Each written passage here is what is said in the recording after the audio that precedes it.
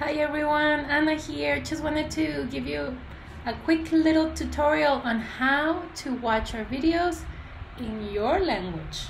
We have a lot of viewers from all parts of the world, from India, Pakistan, a lot of English speaking countries too, but uh, I want to uh, show you how to do this.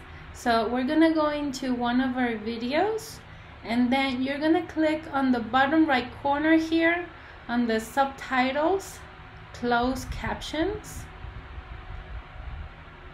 And you have to click there and then you go into the little gear icon and click on subtitles slash CC click there and then you go down into the auto translate area and choose your language and here I'm gonna choose Spanish and see how it comes out because I speak Spanish and I can see if it's a good translation or not so let's click play here Okay, it took me a little bit the same as last time, but last time it took me longer. Today is much less. So uh, even Anna was. Uh,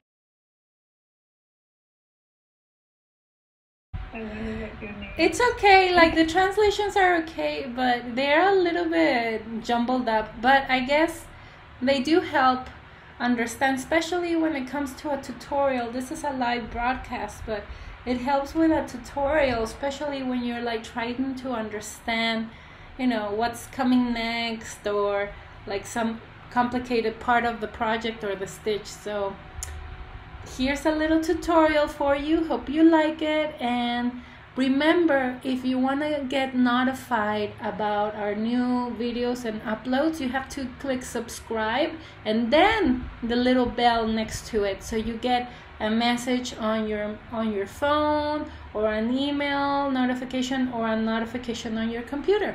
Okay, nice to see you. Take care. Bye.